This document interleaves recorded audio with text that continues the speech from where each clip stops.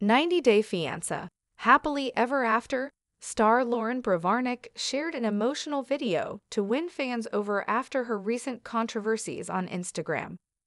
Loren from New York married Ukrainian-Israeli man Alexei in 90 DF Season 3. They moved to Florida, where Loren and Alexei have since lived with their three kids. Loren's ongoing storyline in HEA Season 8 has been all about Loren's weight loss makeover. Loren getting a cosmetic procedure was not something Alexei wanted, since it made him take over household responsibilities while Loren recovered. Despite their ups and downs, Loren and Alexei are still together and married. Loren and Alexei's son Asher was born in August 2021. Loren shared a picture of her son captioned, officially a three-year-old, she shared a selfie to show that she had cried 2x already by 7:49 a.m. Loren later shared a video where she was standing outside a salon and sobbing. Loren said, "We're doing it. The time has come," as she wiped away her tears and said that they were happy tears with a little bit of stressed tears. Loren said the place was highly recommended. Loren decided to share a different story for the record and added that she was not giving her sons a haircut because of social media pressure.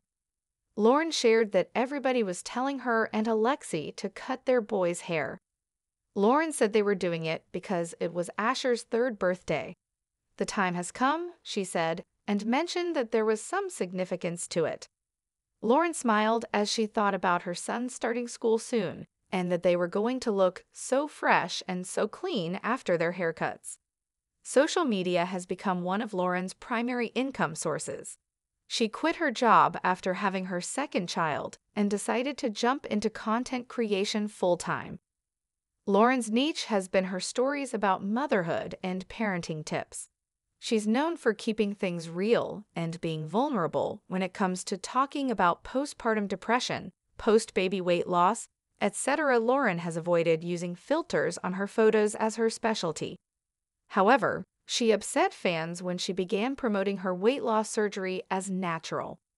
Loren was encouraging new moms to bounce back to their pre baby bodies. Loren was accused of talking about the country for engagement. Loren hasn't addressed any of the recent scandals. She's even claiming that she has no idea why some 90 Day Fiancé, happily ever after. Fans are so mean to her Loren knows that her crying posts will get her more engagement as fans will reach out to her with words of support, perhaps forgetting her past mistakes along the way.